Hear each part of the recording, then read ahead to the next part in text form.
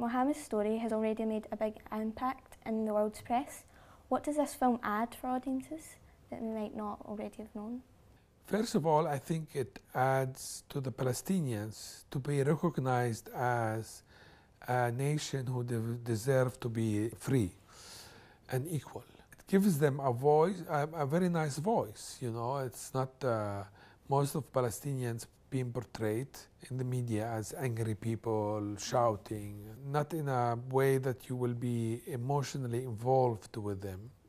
It's good for the Palestinians, first of all, this movie, but also good for uh, others.